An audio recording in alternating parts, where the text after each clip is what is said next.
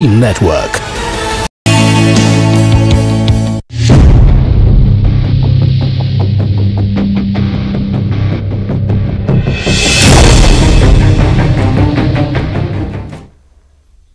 নমস্কাৰ দিনটোৰ শিৰোনামৰ সৈতে ষ্টুডিঅ'ত মই তুলিকা। শ্বেতা আগৰৱালা।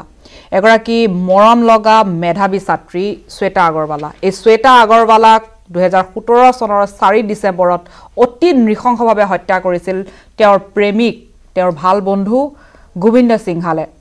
আৰু এই হত্যাকাণ্ড আছিল অতি ভয়ংকৰ। মই হত্যাকাণ্ডৰ কিছু কথা এই মুহূৰ্তত দৰ্শকক মনত পেলাই দিব বিচাৰিছোঁ যে কেনেকৈ হত্যা কৰা হৈছিল শ্বেতা আগৰৱালাক।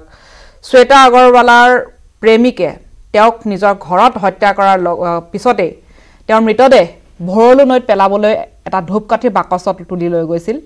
কিন্তু ভৰলু নৈৰ পাৰত সেই সময়ত যথেষ্ট মানুহ থকাৰ কাৰণে সাহস হেৰাই গৈছিল গোবিন্দ সিংহালৰ। আৰু তেওঁ শ্বেতা আগৰৱালাৰ মৃতদেহ ঘৰলৈ আনি বাথৰুমত কেৰাচিন ঢালি জ্বলাই দিয়াৰ অপচেষ্টা কৰিছিল আৰু এই কামত সহযোগ কৰিছিল তেওঁৰ মাতৃ আৰু ভগ্নীয়ে। শ্বেতা আগৰৱালাৰ অৰ্ধদগ্ধ মৃতদেহ উদ্ধাৰ কৰিছিল পৰৱৰ্তী সময়ত আৰক্ষীয়ে। বাথৰুমত আনি কেৰাচিন ঢালি এটা মৃতদেহ জ্বলাই দিবলৈ চেষ্টা কৰাৰ সময়ত ধোঁৱা আৰু জুইৰ ফল জুই দেখি ওচৰ চুবুৰীয়াই হাহাকাৰ কৰে আৰক্ষীক খবৰ দিয়া হয় আৰু তাৰ পিছতেই সমগ্ৰ ঘটনা পোহৰলৈ আহে। দুহেজাৰ সোতৰ চনৰ চাৰি ডিচেম্বৰৰ সেই ভয়ংকৰ নিশাটোৰ বৰ্ণনা আছিলে ইয়াৰ। আঁৰত এগৰাকী মেধাৱী ছাত্ৰীৰ নিজৰ মেধা আৰু দক্ষতাৰ বলত আগুৱাই যোৱাটোৱে আছিল মূল কাৰণ। Shweta Agarwala K C Das commerce কলেজৰ অতি মেধাৱী ছাত্ৰী আছিল আৰু এই মেধাৱী ছাত্ৰীগৰাকীৰ যি মেধা তেওঁৰ যি প্ৰতিভা তেওঁৰ যি দক্ষতা সেই দক্ষতা হৈ পৰিছিল প্ৰেমিক গোবিন্দ সিংহালৰ কাৰণে ঈৰ্ষাৰ কাৰণ।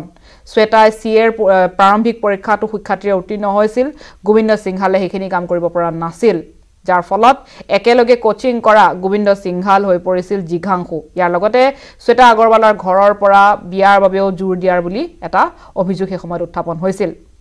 কাৰণ যিয়ে নহওক অতি নৃশংসভাৱে এই শ্বেতা আগৰৱালাক হত্যা কৰাৰ ঊনৈছ মাহৰ পিছত আজি কামৰূপ ছেছন আদালতে শ্বেতা আগৰৱালাৰ সেই প্ৰেমিক গোবিন্দ সিংহাল তেওঁৰ মাতৃ আৰু ভগ্নীক দোষী সাব্যস্ত কৰিছে। বৃহস্পতিবাৰে তেওঁলোকৰ শাস্তি ঘোষণা কৰা হ'ব। পৰিয়ালে এই মুহূৰ্তত এটাই স্বস্তি পাইছে যে আইনে ঊনৈছ মাহৰ পিছত হ'লেও ন্যায় দিছে। কিন্তু তেওঁলোকৰ দাবী এটাই যে শ্বেতা আগৰৱালাৰ হত্যাকাৰীক ফাঁচীৰ তলত শাস্তি দিব নালাগে। ইমান নৃশংস হত্যাকাণ্ড পেছাদাৰী হত্যাকাৰীৰ দৰে শ্বেতা আগৰৱালাক হত্যা কৰা হৈছিল।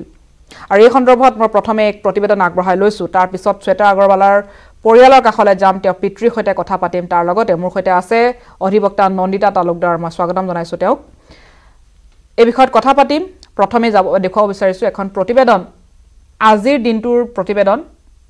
কামৰূপ ছেছন আদালতে শ্বেতা আগৰৱালাৰ হত্যাকা হত্যাকাৰীক দোষী সাব্যস্ত কৰাৰ সন্দৰ্ভত প্ৰস্তুত কৰা প্ৰতিবেদন। আপোনালোকে চাওক আৰু এই সন্দৰ্ভত কথা পাতিম।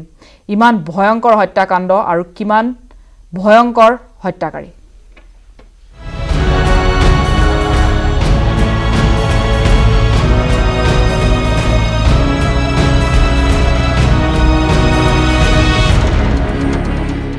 মেধাৱী শ্বেতা আগৰৱালাৰ হত্যাকাণ্ডৰ গোচৰৰ ঐতিহাসিক ৰায়দান।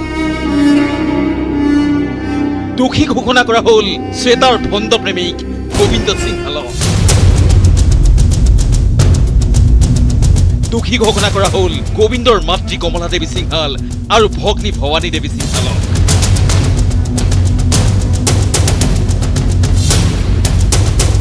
ন্যায়ৰ যুঁজত জয়ী হ'ল শ্বেতা আগৰৱালাৰ পৰিয়াল। মইতো এতিয়া ছেটিছফাই আছোঁ এতিয়া কিন্তু মানে যেতিয়া ইহঁতক ফাঁচি দিব তেতিয়াই মই ফুলি ছেটিছফাই হওঁ কিন্তু আদালতৰ ছেশ্যন জজৰ বহুত বহুত ধন্যবাদ। চাৰি ডিচেম্বৰ দুহেজাৰ সোতৰ। এই দিনটোতেই শ্বেতা আগৰৱালা নামৰ মেধাৱী ছাত্ৰীগৰাকীক নৃশংসভাৱে হত্যা কৰিছিল শ্বেতাৰ ভণ্ড প্ৰেমিক গোবিন্দ সিংহালে। কলেজৰ পৰা উভতি অহা শ্বেতাক শান্তিপুৰস্থিত ঘৰলৈ আনি ইহ জীৱনৰ পৰাই আঁতৰাই পঠিয়াইছিল পাষণ্ড প্ৰেমিক গোবিন্দ সিংহালে। মূৰত মৰিয়াই হত্যা কৰা শ্বেতাক আনকি জীৱন্ত অৱস্থাতে জ্বলাই দিয়া হৈছিল। এই নৃশংস হত্যাকাণ্ডত সহযোগ কৰিছিল প্ৰেমিক গোবিন্দ সিংহালৰ মাতৃ কমলা দেৱী সিংহাল আৰু ভগ্নী ভৱানী দেৱী সিংহালেও। আৰক্ষীয়ে যি চাৰ্জশ্বীট দাখিল কৰিছিল তদন্ত তেওঁলোকে যেনেধৰণে আগবঢ়াই লৈ গৈছিল। আৰু তাৰপিছত আদালতত তেওঁলোকৰ একমাত্ৰ কাম আছিল যে সাক্ষ্য সাক্ষ্য প্ৰমাণ সংগঠিত কৰা। আৰু এই ক্ষেত্ৰত যথেষ্ট তৎপৰতা আৰক্ষীয়ে তেতিয়াই লাভ কৰিছিল প্ৰদৰ্শন কৰিছিল। অৱশেষত এই ঘটনাৰ ঊনৈছ মাহৰ পিছত শ্বেতাৰ হত্যাকাণ্ডত জড়িত তিনিওজনক দোষী সাব্যস্ত কৰে কামৰূপ জিলা ছেছন ন্যায়াধীশৰ দ্ৰুত আদালতে। তিনিজনে একিউজ আছিলে তিনিজনকে জাজে জাজ ছাৰে পালে তাৰ কাৰণে কনভিক্ট কৰা হৈছে তিনিজনকে। বিচাৰ প্ৰক্ৰিয়া আপোনাৰ ফৰ্টিন মে' টু থাউজেণ্ড এইটিনৰ পৰা ষ্টাৰ্ট হৈছিলে। কম সময়ৰ ভিতৰতে অঁ ডেফিনেটলি বহুত কম সময়ৰ মতে উইদিন ফৰ্টিন মান্থছ আমি কমপ্লিট কৰিলোঁ আজি জাজমেণ্টে হৈ গ'ল। এই গোটেই গোচৰটোত আৰক্ষীৰ ভূমিকা আছিল চমকপ্ৰদ। অভিযুক্ত যাতে হাৰি নাযায় তাৰ বাবে তথ্য প্ৰমাণ সহকাৰে চাৰ্জশ্বীট দাখিল কৰিছিল আৰক্ষীয়ে। দোষী সাব্যস্ত কৰাৰ বাবে উপযুক্ত তথ্য আছিল ফৰেনচিক প্ৰতিবেদনতো। আদালতত অভিযুক্তৰ বিৰুদ্ধে বিশজনকৈ সাক্ষী থিয় কৰাইছিল আৰক্ষীয়ে। স্বাভাৱিকতেই আদালতৰ এই ৰায়দানৰ পিছত কান্দোনত ভাঙি পৰিল শ্বেতা আগৰৱালাৰ পিতৃ। ৰায়দানক লৈ শ্বেতাৰ পিতৃ সন্তুষ্ট যদিও তেওঁৰ স্পষ্ট মত দোষীৰ ফাঁচি হ'লেহে শাস্তি পাব শ্বেতাৰ আত্মাই।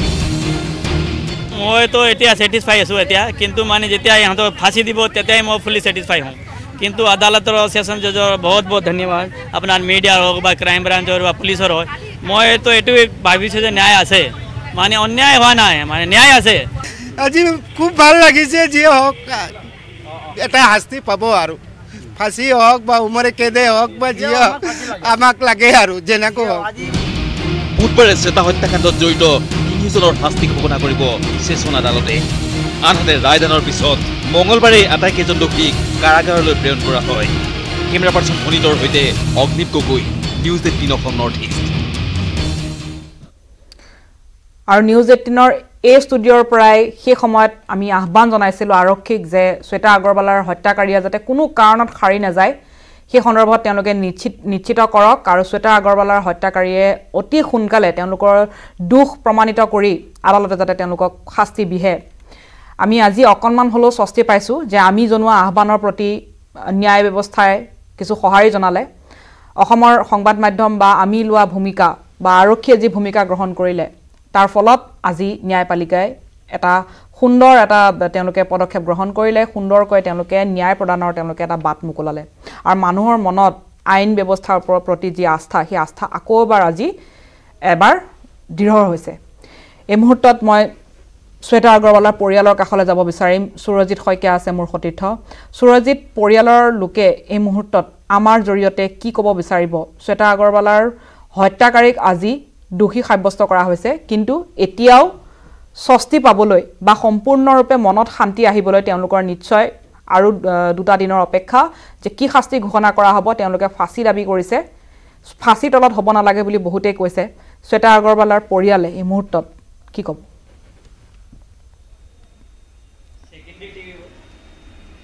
আহ, হয় তুলি আহ, হয় তুলিকা শ্বেতা আগৰৱালাৰ হত্যাকাণ্ডৰ যিসকল দোষী আছিলে তেওঁলোকক দোষী সাব্যস্ত কৰা হৈছে। পৰহিলৈ তেওঁলোকক কি শাস্তি দিয়া হ'ব সেয়া ঘোষণা কৰা হ'ব। পৰিয়ালবৰ্গ আছে পিতৃ আছে আপোনাৰ ওচৰলৈ আহিছোঁ। আজি তেওঁলোকক দোষী সাব্যস্ত কৰা হৈছে পৰহিলৈ শাস্তি। পৰহি কৰিব ইহঁতৰ পৰহি দিব। আজিতো মানে ইহঁতৰ তিনিটাক জেলত মানে পঠাই দিছে জজ চাহেব কালি ডেট দিয়া আছিলে কিন্তু কিবা কাৰণৰ কাৰণে পৰহি ডেট দিছে এক তাৰিখে। তো আমিতো জজ চাহেব এইটো বিচাৰিছোঁ আমি মইতো ভগৱান দেখা নাই কিন্তু আজি প্ৰথমবাৰ আদালতো মই চাইছোঁ যে ভগৱান আছে জজ চাহেব যেনেকুৱা মানে জাষ্টিছ দিছে মই জানো যে ভগৱান আছে এতিয়া আজিলৈ মই দেখা নাই কিন্তু আজি ভাবিছোঁ যে ভগৱান আছে তো মই এইটো ভগৱানৰ পৰা এইটো মই এইটো আশা কৰি আছোঁ যে সিহঁতক তিনিটাক ফাঁচি দিয়ক বা মৃত্যুদণ্ড দিয়ক মই এইটো বিচাৰি আছোঁ হাত জৰি জজ চাহেবৰ এইটো মোৰ ৰিকুৱেষ্ট আছে এইটোৱে বিচাৰিছে মই এইটো বিচাৰি আছোঁ মই আৰু আমাক নালাগে কিবা বাছ আমাক জাষ্টিছ লাগে সিহঁতক তিনিটাক ফাঁচি দিয়ক বা মৃত্যুদণ্ড দিয়ক। মই এইটো বিচাৰি আছোঁ মই হাত জৰি বিনতি কৰি আছোঁ। কিন্তু ভগৱান আছে মই আজি চাইছোঁ আদালত। এইটো মই চাইছোঁ যে ভগৱান সঁচাকৈ আছে। মই সুৰজিৎ আহ, আমি নিউজ এইটিনে শ্বেতা আগৰৱালাৰ পিতৃক সেই সময়তো আমি তেওঁৰ মত গ্ৰহণ কৰিছিলোঁ। সিমান নৃশংস হত্যাকাণ্ড ইমান ডাঙৰ ক্ষতি কোনেও পূৰণ কৰিব নোৱাৰে। এগৰাকী মেধাৱী কন্যাক তেওঁলোকে হেৰুৱাইছে। এই সমগ্ৰ ন্যায় প্ৰক্ৰিয়াত কেনেকৈ আচলতে ইমান খৰতকীয়াকৈ হ'ল এই সন্দৰ্ভত পিতৃয়ে কি ক'ব? কাৰণ মে' মাহৰ পৰা আৰম্ভ কৰা হৈছিল দুহেজাৰ ওঠৰ চনৰ। আজি ৰায়দান দিছে আদালতে গতিকে যথেষ্ট খৰতকীয়া বুলি ক'ব লাগিব। যে আমাক ভাল ডিচিজন লাগে। যথেষ্ট ঊনৈছ মাহৰ ভিতৰত এই ঘটনাটো হৈছিলে। বহুত ক্ষিপ্ৰতাৰে বহুত বহুত ক্ষিপ্ৰতাৰে এই তদন্তটো হ'ল। এই তদন্তৰ বিষয়ে কি হ'ব? ইমান সাধাৰণতে ফাষ্ট কোৰ্টত হ'লেও ইমান তদন্ত আমি ইমান নেদেখা ফাৰ্ষ্ট ট্ৰেকত আছিলে। ফাৰ্ষ্ট ট্ৰেকত আছিলে এখানে মানে ইমান সোনকালে হৈ গৈছে। নহ'লেতো চান্সই নাই। সিহঁতৰ মানে যিমান ট্ৰাই কৰিছে কেছৰ মানে লম্বা টানি কিনি এটা মাহত দুটা বা এইটোত প্ৰেজেণ্ট হ'ব এনে ডেট ডেট লৈ লৈ লৈ লৈ কেছটো লম্বা কৰি দিছে। কিন্তু এইটো ফাৰ্ষ্ট ট্ৰেক আছিলে কোৰ্টত এখানে মানে আমি ইমান সোনকালে মানে পাইছোঁ ন্যায়টো সিহঁততো আপুনি খুৰাক আপুনি বহুত দিনৰ পৰা লাগি আছিলে প্ৰথমত কওক আচাৰ লাগি লাগি থাকিব লাগিব। আমাৰ নিজৰ ছোৱালী গোটেই অসমত ষ্টেণ্ড কৰা ছোৱালী। আছিলেই শ্বেতা আগৰৱাল। তাৰে পিছত তাৰ যেনেকৈ যি হিচাপতে মাৰ্ডাৰ কৰিছে তাৰ বাপেকে ক্ৰিমিনেল তাৰ বাপেকেও চি বি আই কেছ চলি আছে। গোবিন্দ সিংলৰ বাপেকৰ সি নিজে ক্ৰিমিনেল তাৰ এইটো কেছ চলি আছে। তাৰপিছত গোবিন্দে যি হিচাপত মাৰ্ডাৰ কৰিছে আগত মাৰ্ডাৰ কৰিছে তাৰপিছত তাক বস্তাত বান্ধি কিনে লৈ গৈছে পেলাই আহিছে আকৌ লৈ আহিছে আকৌ জ্বলাই কিছে ভণ্টি এ, কমলা সিংগাল ভৱানী সিংগাল দুটা মিলি কিনে কেৰচিন লৈ কিনে গ্লাভছ আনিছে ভৱানী সিংগালে তাক জ্বলাই কিনে মানে বন কেছ দিব বিচাৰিছে কিন্তু সিহঁতে ছাকচেছ হোৱা নাই। কোৰ্টতে আহিছে কোৰ্টতে এইটো কৰিছে আমি ঘূৰি আছোঁ ডেইলি ফাইল কি খাচীটো এইটো বিচাৰিছোঁ তাক ফাঁচি হ'ব লাগে তিনিটাকে। যেনেকৈ যি হিচাপত আমাক ছোৱালীক ইহঁতে কৰিছে মই ভাবিছোঁ এইটো এইটো যদি শাস্তি নাপায় ফাঁচি নাপায় বেলেগে ল'ৰা সাহস কৰিব। আৰু বেলেগৰ আজি আমাৰ অসমৰ ৰাজ্যৰ ছোৱালী আজিতো মোৰ ছোৱালী গৈছে গোটেই কাজি কালি ভিতৰত সিহঁতে বেলেগ ছোৱালীৰ লগত এনেকুৱা কৰিব পাৰে। যি দুৰ্গন্ধ কাণ্ড কৰিছে ল'ৰাটো এইটো মানে শুনিলেই আমাৰ ৰুটো কাপি যায় আৰু কি ক'ম। মই সুৰজিত আপোনাৰ কাষলৈ পুনৰ যাম। মই পুনৰ যাম আপোনাৰ কাষলৈ। মই নন্দিতা তালুকদাৰ আপোনাৰ কাষলৈ আহিছোঁ এগৰাকী অধিবক্তা। আৰু সাধাৰণতে আইন ব্যৱস্থাৰ ওপৰত মানুহৰ আস্থা নাথাকে বহু ক্ষেত্ৰত। সাধাৰণ মানুহে বহু কিছু তেনেকৈ বাধা পায় বা বিভিন্ন সময়ত বিভিন্ন অভিযোগ থাকে। আৰক্ষীৰ ওপৰতো কিছু আঙুলি তোলা দেখা যায়। কিন্তু এই শ্বেতা আগৰৱালাৰ যি গোচৰ এই সন্দৰ্ভত কিন্তু যথেষ্ট দ্ৰুতভাৱে পদক্ষেপ লোৱা হ'ল বা আইনী ব্যৱস্থাটো যথেষ্ট ভালকৈ আগবাঢ়িল যাৰ ফলত আজি তেওঁলোকক দোষী সাব্যস্ত কৰা হ'ল আৰু পৰহিলৈ তেওঁলোকক তেওঁলোকৰ শাস্তি ঘোষণা কৰা হ'ব। পৰিয়ালটোৱে কিছু স্বস্তি পাইছে কিন্তু ইমান ভয়ংকৰ এটা অপৰাধ এই অপৰাধৰ আচলতে কোনো তুলনা নাই একো কথাৰে অপৰাধৰ যি ধাৰা বা অপৰাধৰ যি গতি প্ৰকৃতি একো কথাৰ লগতে তুলনা কৰিব নোৱাৰি। এটা ভয়ংকৰ কাণ্ড চিনেমাতকৈও ভয়ংকৰ। এনেকুৱা ভয়ংকৰ অপৰাধীক যদি তেওঁলোকে সাৰি যায় ফাঁচীৰ পৰা তেওঁলোকৰ সাৰি যোৱাৰ কিবা স্ক'প আছে নেকি? কিবা পৰিসৰ আছে নেকি? কাৰণ পৰিয়ালে দাবী কৰিছে যে ফাঁচী হ'ব লাগে। বা বিভিন্নজনে দাবী কৰিছে যে শ্বেতা আগৰৱালাৰ হত্যাকাৰীক ফাঁচীৰ তলত শাস্তি দিবই নালাগে আচলতে। এইটো যদিও মানে ফাঁচীৰ দাবী কৰিছে মই নাভাবোঁ যে ফাঁচীটো এইটো বহুত ডিবেটেবল কুৱেশ্যন এটা হয় যে কেপিটেল পানিছমেণ্ট দিব লাগে নে নালাগে এই লৈ বহুত ক্ষেত্ৰতে বহুত চিন্তা চৰ্চা চলি আছে। গতিকে যদি এই পাৰ্টিকুলাৰ কেছটো চাওঁ তেতিয়াহ'লে ধৰ্ষণৰ উপৰিও হত্যাকাণ্ড হৈছে হৈছে। গতিকে এজ এ মহিলা হিচাপে আৰু এগৰাকী শ্বেতা আমাৰ নেইবাৰো আছিলে গতিকে মই ভাবিম যে শাস্তি দিব ফাঁচী হ'ব লাগে বা আৱেগত ক'ব পাৰোঁ যে শাস্তি হ'ব ফাঁচী হ'ব লাগে। কিন্তু এই ফাঁচী যদি আমি গোটেই সামাজিক পৰিপ্ৰেক্ষিতত চাওঁ গতিকে এই এটা ফাঁচী দিয়াৰ লগে লগে গোটেই অপৰাধৰ যিটো ধাৰা এইটো কমিবনে? অকল শ্বেতা আগৰৱালৰ কেছটো বুলি মই কোৱা নাই। গতিকে যিটো এটা মানে যেনেকে এইটো এটা জঘন্যতকৈ জঘন্যতম অপৰাধ। গতিকে আইনেও কৈছে যে যেতিয়া আপোনাৰ খুব বেছি তাৰমানে একদম জঘন্যতৰ অপৰাধ হয় তেতিয়া ফাঁচীৰ প্ৰভিজন আছে। কিন্তু এই ক্ষেত্ৰত এইটো এটা ডিবেটেবল কুৱেশ্যন হয়। মই ভাবোঁ যে এইটো ফাঁচী হ'ব লাগে। মই নিজে বহুত দুদুল্যমান অৱস্থাত আছোঁ। কাৰণ যদি চাওঁ যে ফাঁচী হ'ব লাগে বুলি ভাবোঁ আৰু এবাৰ মই নিজে ভাবোঁ যে ইয়াতে বহুত মানৱ অধিকাৰৰ প্ৰশ্ন আহিব কিবা আহিব সেইবোৰলৈও ক'বলৈ নাযাওঁৱে।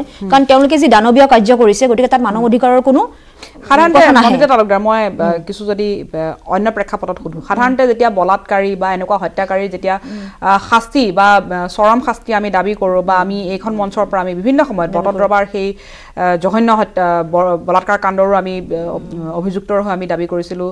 অভিযুক্তৰ কাৰণে আমি দাবী কৰিছিলোঁ যে তেওঁক ফাঁচী দিব লাগে। কিন্তু যেতিয়াই ফাঁচীৰ প্ৰসংগ ওলায় বা মৃত্যুদণ্ডৰ কথা ওলায় তেতিয়া মানৱ অধিকাৰ কৰ্মী বা একাংশ যি তেনেধৰণৰ কৰ্মী আছে তেওঁলোক আহি যায় বাধা দিবলৈ। তেওঁলোকে বিভিন্ন নৈতিকতাৰ প্ৰশ্ন তোলে কিন্তু কথাটো হ'ল এই যে মানুহবোৰ হেৰাই যায় এই যে মহিলাসকল হেৰাই গৈছে বা এই যে শ্বেতা আগৰৱালাৰ দৰে একো একো একো ছোৱালী হেৰাই গৈছে তেওঁলোকৰ মানৱ অধিকাৰৰ কথা বাদেই তেওঁলোকৰ দেখোন জীৱনটোৱে হেৰাই গ'ল এনেকুৱা জীৱন যি কাঢ়ি নিব পাৰে তেওঁলোকৰ তেওঁলোকৰ ক্ষেত্ৰত আকৌ কি কাৰণে মানৱ অধিকাৰৰ কথা খাটিব পাৰে? মানৱ অধিকাৰৰ কথাটো মই এইকাৰণে কৈছোঁ আমাৰ উদ্দেশ্যটো কি? আইনৰ উদ্দেশ্যটো হৈছে যে ক্ৰিমিনেল জুৰিছপ্ৰুডেঞ্চৰ উদ্দেশ্যটো হৈছে অপৰাধ কমোৱা। গতিকে আজিলৈকেতো বহুত ফাঁচি হ'ল। বহুতৰ হৈছে বা যিবোৰ বিদেশতো ধৰি লওক ফাঁচি হৈ আছে। কিন্তু অপৰাধবোৰ নোহোৱা হোৱা নাই কেতিয়াও। গতিকে আমি চাব লাগিব যে কি সামাজিক পৰিপ্ৰেক্ষিতত এনেকুৱা অপৰাধবোৰ হয়। গতিকে মই নিজেও কৈছোঁ যে এই সম্পৰ্কত মোৰ নিজৰে বহুত দ্বিধা আছে। যে মানে কেনেকুৱা ক্ষেত্ৰত মানে আমি জেনেৰেলাইজ কৰি ক'ব নোৱাৰোঁ যে প্ৰত্যেকটো বলাৎকাৰৰ শাস্তি ফাঁচি হ'ব লাগে। কিন্তু মই নিজে বিচাৰোঁ যে এইটোত ফাঁচি হোৱাটো মই উচিত বুলি ভাবোঁ। এনেকৈ। কিন্তু এই বিষয়ত মোৰ নিজৰ বহুত দ্বিধা আছে বুলি মই আগতেই ক'লোঁ। মই শ্বেতা আগৰৱালাৰ হত্যাকাণ্ডৰ অভিযুক্ত গোবিন্দ সিংহাল গোবিন্দ সিংহালৰ মাতৃ আৰু ভগ্নী মই দুয়োৰে আমাৰ কাষত ভিজুৱেল আছে মই দেখুৱাইছোঁ। আইনী মেৰপেচ আছে নিশ্চয় আমি সম্পূৰ্ণ তেওঁলোকৰ চেহেৰা দেখুৱাব নোৱাৰোঁ। চেহেৰা দেখুৱাব নোৱাৰোঁ। কিন্তু এই দুগৰাকী মহিলা মই কৈছোঁ এই দুগৰাকী মহিলা এই দুগৰাকী মহিলাৰ অপৰাধ আচলতে গোবিন্দ সিংহালতকৈ হাজাৰ গুণে বেছি। কাৰণ শ্বেতা আগৰৱালা যিটো সময়ত তেওঁ অৰ্ধমৃত অৱস্থাত আছিল বা যি সময়ত তেওঁ মৃত্যুৰ মুখলৈ লাহে লাহে গতি কৰিছিল সেই সময়ত যেতিয়া গোবিন্দ সিংহালে তেওঁৰ মৃতদেহ ভৰলু নৈত দলিয়াবলৈ গৈছিল তাৰপিছত যেতিয়া তেওঁ মানুহ দেখি উভতি আহিছিল সেই শ্বেতা আগৰৱালাৰ মৃতদেহ নষ্ট কৰি জ্বলাই সকলো চিনমুকাম মোচাৰ ক্ষেত্ৰত গোবিন্দ সিংহালক শীতল মস্তিষ্কৰে সহায় কৰিছিল তেওঁৰ মাতৃ আৰু ভগ্নীয়ে। গতিকে এই দুগৰাকী মহিলা গোবিন্দ সিংহালতকৈ হাজাৰ গুণে বেছি অপৰাধী বুলি যিকোনো এজন মানুহে এই মুহূৰ্তত ক'ব পাৰে। তেওঁলোকৰ অপৰাধ আচলতে একেবাৰে মাৰ্জনীয় নহয়। শ্বেতা আগৰৱালা তেওঁলোকৰ ঘৰলৈ গৈ থকা এগৰাকী তেওঁলোকৰ পৰিয়ালৰ সদস্যৰ দৰে এগৰাকী ছাত্ৰী আছিল এগৰাকী ছোৱালী আছিল। আৰু যি সদায় দেখি থকা এগৰাকী পৰিচিত ছোৱালীৰ সৈতে এনেধৰণৰ আচৰণ কৰিব পাৰে তেনেকুৱা মানুহৰ মানসিকতা আচলতে কিমান জঘন্য হ'ব পাৰে কিমান বৰ্বৰ হ'ব পাৰে। মহিলা নামত মহিলা কিন্তু তেওঁ মহিলাৰ সৈতে হোৱা এটা ভয়ংকৰ অপৰাধত এই দুগৰাকী মহিলাই সহায় কৰিলে। সহায় কৰা নাই হত্যাকাণ্ডত সম্পূৰ্ণ সহযোগ কৰিছে। গতিকে এই দুগৰাকী মহিলাৰ ক্ষেত্ৰতো সমান শাস্তি হ'ব লাগে বুলি পৰিয়ালে ইতিমধ্যে দাবী কৰিছে। মই সুৰজিতৰ কাষলৈ যাব বিচাৰিছোঁ। পৰিয়াল যিহেতু আছে তেওঁৰ সৈতে।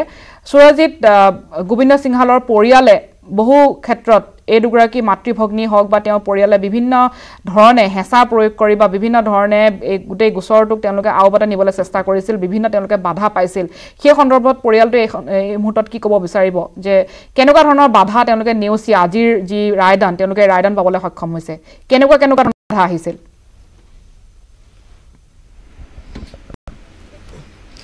হয় তুলিকা তেওঁলোকে ইয়াত ইয়াৰ আগতে আমাক কৈছে এই যি ৰায়দান হ'ল ঊনৈছ মাহৰ ভিতৰত ফাষ্ট ট্ৰেক কোৰ্টৰ পৰা ৰায়দান ওলালে। কিন্তু ইমান দিনত যি দেখা গ'ল আপোনালোকে নিজেও কৈছে গোবিন্দ সিংহালৰ পৰিয়ালৰ তৰফৰ তৰফৰ পৰা বহুত হেঁচা দিছিলে আপোনালোকক। আমাক এনে এনে আমাক এনেকা দিয়া নাই। মানে কেনেকুৱা মানে আমাক এনেকা কোনো হেৰি ফোন কৰা নাই এইবিলাক এইবিলাক দিয়া নাই। আমি যি আছে এইটো বচাই আছে। আমাক কোনো হেৰি সিহঁতক কিবা ফোন কৰা নাই বুলি কয়। যেতিয়া হৈছে ষ্টাৰ্টিঙত তেতিয়াই কৈছে যে আপোনালোকৰ একো কৰিব নোৱাৰে। হা সিহঁতৰ মাক কৈছে আমাক যে আপোনাৰ একো কৰিব নোৱাৰে সিহঁতৰ দেউতা বাহিৰত আছে সিহঁতক আহিব দিয়ক। সিহঁতৰ চব একো আপুনি একো কৰিব নোৱাৰে বডি আছে আপুনি ডেড বডি লৈ যাওক। সিহঁতক ফাইদাৰক আপুনি নাজানে সিহঁত চব চিনাকি আছে আপুনি একো কৰিব নোৱাৰে। সিহঁতক সেই মাও আমাক ধমকি দিছে তেতিয়া যেতিয়া আমি গৈছোঁ সিহঁতৰ ইমান দিন একো কোৱা নাই? নাই এতিয়া কোৱা নাই। কোনো একো কোৱা নাই? নাই নাই কোৱা। কিছু মহিলা আছে ওচৰৰে। বাইদেউ আপোনালোক এই কেছটোৰ লগত প্ৰথমবাৰ জড়িত। কি কয় আপুনি? পৰহিলৈ শাস্তি ঘোষণা হ'ব। হয় আমি মানে অপেক্ষা কৰি আছিলোঁ যে এটা দৃষ্টান্তমূলক শাস্তি হওক।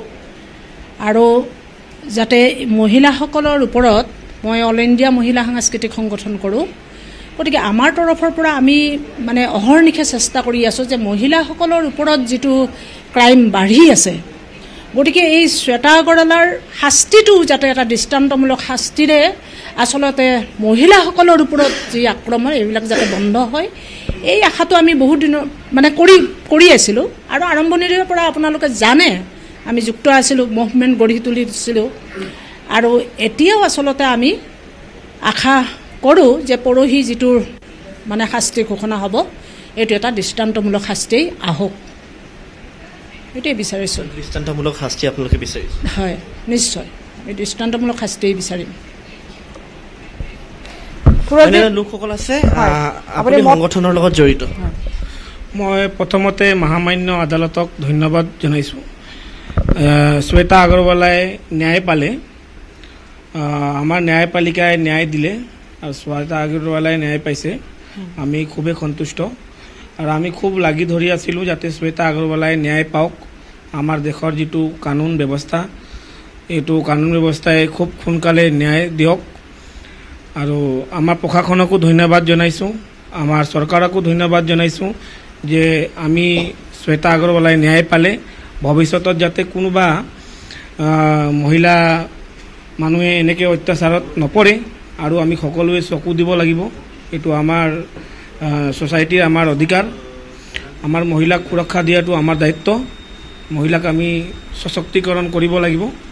মহিলাক আমি মুঠতে এয়াই সকলোৱে বিচাৰিছে পৰিয়ালবৰ্গৰ লোকসকলে বিচাৰিছে যাতে শ্বেতা আগৰৱালৰ যিসকল দোষী আছে তেওঁলোকে দৃষ্টান্তমূলক শাস্তি লাভ কৰে। তুলিকা। হয় আহ, সুৰজিত মই এই মুহূৰ্তত আপোনাৰ কাষৰ পৰা আহিম।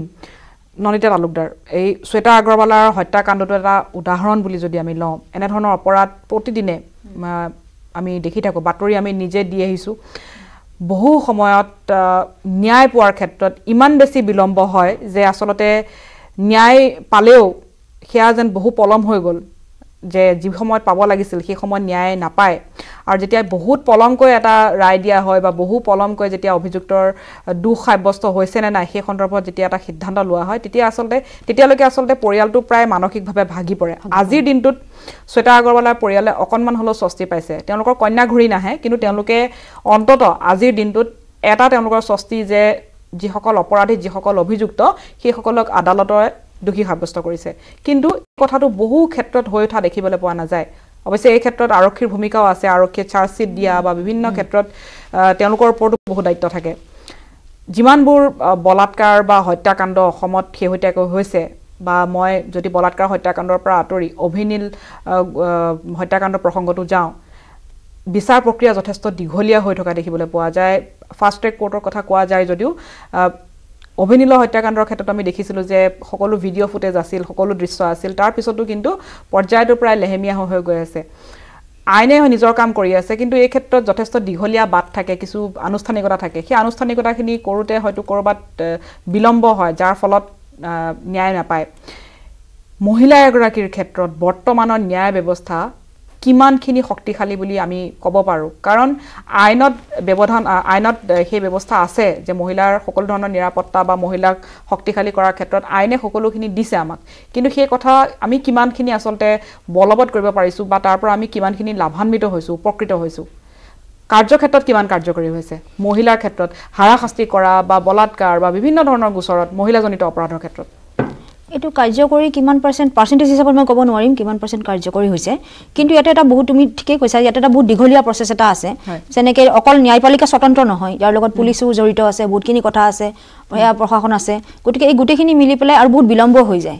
যে justice delayed is justice denied বুলি কথা এটা আছে আৰু আৰু চবতকৈ চাব লাগে যিটো যিটো কনভিকশ্যন যেনেকুৱা হৈ আছে যি- যিক্ষেত্ৰত হৈ আছে সাধাৰণতে দেখা যায় যিখিনি পাৱাৰফুল মানুহ হয়।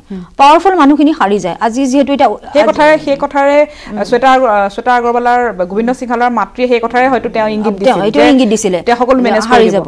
কিন্তু। এতিয়া দেখা হৈছে আজি আজি যিহেতু দিছে যিটো উন্নাওৰ যিটো ঘটনা তেওঁ এগৰাকী যথেষ্ট প্ৰতিপত্তিশীল মানুহ বিধায়ক হয়। গতিকে তেওঁৰ ক্ষেত্ৰতো ধৰি লওক তেওঁ নিজৰ পাৱাৰ ইউজ কৰি পেলাই কেনেকুৱা এইটো তাৰে হয়তো কেতিয়া ন্যায় পাম আমি হয়তো আশা কৰিহে আছো। যে পাম বুলি। গতিকে ন্যায়পালিকা কেতিয়াও স্বতন্ত্ৰ নহয়। তাৰ লগতে যিটো সামাজিক যিটো মিডিয়া সকলোৰে বহুতখিনি অৱদান আছে। গতিকে আজি শ্বেতাগলৰ কেছটো হয়তো ইমানখিনি আগ নাবাঢ়িলে হয়। যদি মিডিয়াই ৰাইট টাইমত প্ৰেছাৰটো নিদিলে হয়। গতিকে গতিকে জাগৰণটো অকল ন্যায়পালিকাই অকলে কৰিব নোৱাৰে। জাগৰণৰ কাৰণে গোটেই সমাজখন লগতে মিডিয়া গোটেই প্ৰশাসন ব্যৱস্থাটো নাগৰিক সকলোখিনি মানুহ জড়িত হ'ব লাগিব। তেতিয়াহে হয়তো কিবা এটা হ'ব। আৰু তদুপৰি যথেষ্টখিনি কৰাও গৈছে। যেনেকৈ দুহেজাৰ ওঠৰ চনত নিৰ্ভয়া হত্যাকাণ্ডটোৰ পিছত দুহেজাৰ এইখন বহুত সংশোধন কৰা গৈছে। যেনেকৈ তিন ইয়াতে তিনিটা কেটেগৰী কৰা হৈছে। মানে বাৰ বছৰলৈ এটা বাৰৰ পৰা ষোল্ল বছৰৰ শিশুৰ মহিলাৰ ক্ষেত্ৰত এটা আৰু ষোল্লৰ পৰা এটা। কিন্তু মই ভাবোঁ যে ইয়াতেও মানে মোৰ ব্যক্তিগতভাৱে কিছুমান ইয়াতে খুদিয়নি আছে। যেনেকৈ যেতিয়া ধৰ্ষণকাৰী এজনে যিহেতু যাক ধৰ্ষণ কৰে তেওঁৰ বয়স নাচায়। গতিকে ভাগ কৰোঁতেও নিশ্চয় তিনিটা কেটেগৰী কৰিব নালাগিছিলে। প্ৰতিটো কেটেগৰীৰ কাৰণে শাস্তি বেলেগ বেলেগ। যেনেকৈ যদি যিকোনো মহিলা যদি মহিলাগৰাকী দহ বছৰ বাৰ বছৰৰ তলত হয় তেতিয়াহ'লে বিছ বছৰৰ পৰা মৃত্যুদণ্ডলৈকে আছে। বাৰৰ পৰা ষোল্ল হ'লে বিছ বছৰৰ পৰা লাইফ ইমপ্ৰিজনমেণ্ট তাৰ ওপৰত হ'লে দহ বছৰলৈকে। গতিকে এই ভাগটো মই ব্যক্তিগতভাৱে থাকিব নালাগিছিল দুহেজাৰ ওঠৰ চনত যদিও যিটো আইন কৰা গ'ল। কাৰণ তেনেদৰে কৈছে যি- যেতিয়া ধৰ্ষণকাৰী এজনে যেতিয়া বয়স নাচায় আজি যদি এগৰাকী নব্বৈ বছৰীয়া মহিলাৰো আমি ধৰ্ষণ হোৱা দেখোঁ আৰু নমহীয়া বাচ্ছা এটাৰো ধৰ্ষণ হোৱা দেখোঁ। গতিকে নব্বৈ বছৰীয়া মহিলা এগৰাকীৰ সন্মান বা তেওঁৰ ক্ষতি আৰু ন নমহীয়াখিনিৰ পৃথক কিয়? এই বস্তুটো খুদুৱনি আছে। আৰু আৰু বহুতখিনি কথা আছে যেনেকৈ যিকোনো এখন আইন ন্যা- ন্যায়পালিকাই অকলে নবনায়। তাতে সাংসদ আছে। সাংসদসকলৰ যিটো বিল এখন পাছ কৰে সংসদত। তেওঁলোকে আৰু। তেওঁলোকক চিলেক্ট কোনে কৰে? আমি এইটো কৰোঁ। গতিকে এই বস্তুটো এটা এটাৰ পৰা কোনো পৃথক নহয়। গতিকে আমি প্ৰথমতে আমি চাব লাগিব আমি কাক ভোট দিওঁ? কাক ভোট দিওঁৰ পৰা আমি এতিয়া ৰেপিষ্ট এজনকে আমি চিলেক্ট কৰি পঠিয়ালোঁ দেখোন। যিটো উন্নাওৰ যিটো ঘটনা তেওঁতো বিধায়ক। তেওঁক কোনে বাচিছে? তেওঁতো তেওঁকতো জনতাই বাচিছে ন? আৰু ডেম'ক্ৰেচিত সদায় নাম্বাৰটোহে মেইন হয়। গতিকে গণতন্ত্ৰত যদি সংখ্যাই কথা কয় তেতিয়াহ'লে সেই সংখ্যাটো কোনে নিৰ্ণয় কৰে? সংখ্যাটো নিৰ্ণয় কৰোঁ আমি। মই এগৰাকী অধিবক্তা হিচাপে নহয় এগৰাকী ভাৰতৰ নাগৰিক হিচাপে কৈছোঁ যদি আমি নক গতিকে সকলো আমাৰ হাতত গতিকে এই বস্তুটো আমি গ্ৰাছৰুট লেভেলৰ পৰাই ঠিক কৰিব লাগিব। অকল ন্যায় ব্যৱস্থাক অকল পুলিচক কাকো অকলে স্বতন্ত্ৰভাৱে বা পৃথককৈ দুখ দি লাভ নাই। আমি সকলোৱে আগবাঢ়ি যাব লাগিব। হয়। সুৰজিত এই মুহূৰ্তত মই যিহেতু সামৰিব লাগিব পৰিয়ালৰ ফালৰ পৰা আমাৰ জৰিয়তে কি আহ্বান জনাব বা তেওঁলোকে এই মুহূৰ্তত কি ক'ব বিচাৰিব? কাৰণ মই অনুষ্ঠান সামৰিবৰ হৈছে। পৰহিলে শাস্তি ঘোষণা কৰা হ'ব শ্বেতা আগৰৱালাৰ হত্যাকাৰীৰ শাস্তি ঘোষণা কৰা হ'ব আমি সকলোৱে অপেক্ষা কৰি আছোঁ যে চৰম শাস্তি দিয়া হওক সৰ্বাধিক শাস্তি দিয়া হওক আৰু এনেকুৱা শাস্তি দিয়া হওক যি সমাজত এক দৃষ্টান্ত হৈ থাকি যায়।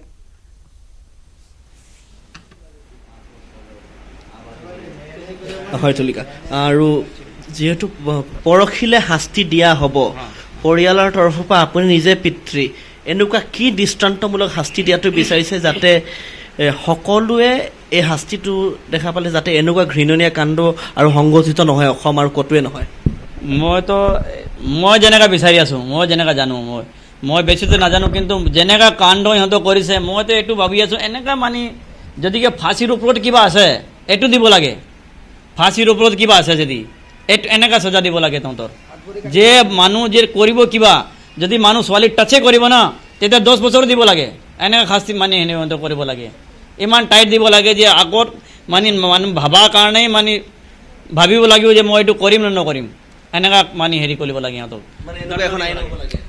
এনেকা আইন ওলাব লাগে বা এনেকা শাস্তি কৰিব লাগে যে মানুহে ইন ফিউচাৰ এইবিলাক এনেকুৱা কাণ্ড কৰিলে পঞ্চাছ বাৰ অন্তত ভাবে যে মই কৰোঁ নে নকৰোঁ। ইমান জঘন্য কাণ্ড। এতিয়াও মানে অসম কি বাদ দি ভাৰতত ইণ্ডিয়াতে কেতিয়াও হোৱা নাই। এজন মানুহক মাৰি পেলাই বস্তাত ভৰাই লৈ গৈ পেলাই দিয়ে। তাতে গৈ। আকৌ ভয় খাই লৈ আহে ঘৰত গৈ পুৰে এনেকা কাণ্ড মই কেতিয়াও দেখা নাই আৰু। ভৱিষ্যতে আশা নকৰোঁ। মই মই পৰিয়ালক এই মুহূৰ্তত ধন্যবাদ জনাইছোঁ আৰু তেওঁলোকক মই এই মুহূৰ্তত তেওঁলোকৰ পৰা মই মাৰ্জনা বিচাৰিছোঁ যিহেতু মই তেওঁলোকক অধিক সময় দিব পৰা নাই। এটা পৰিয়াল যি পৰিয়ালে এগৰাকী মেধাৱী ছাত্ৰীক হেৰুৱাইছে ভাবিবলৈও আমি আচলতে এই মুহূৰ্তত অক্ষম যে এগৰাকী মেধাৱী ছাত্ৰী কাইলৈ পৰহিলে তেওঁ এগৰাকী চি এ হ'লহেঁতেন তেওঁ এগৰাকী দক্ষ তেওঁ এগৰাকী ঘৰৰ কাৰণে তেওঁ এগৰাকী দক্ষ মানৱ সম্পদ ৰূপে তেওঁ বিবেচিত হ'লহেঁতেন। কেৱল ঘৰৰ কাৰণে নহয় সমাজৰ কাৰণে এক দক্ষ মানৱ সম্পদ হ'লহেঁতেন।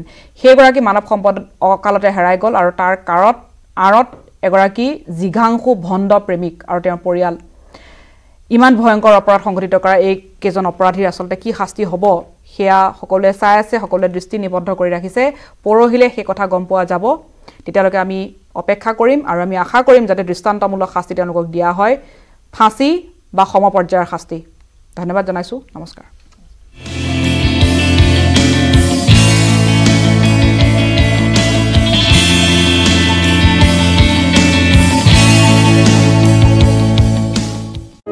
ये घी खाने वाली फैमिली है।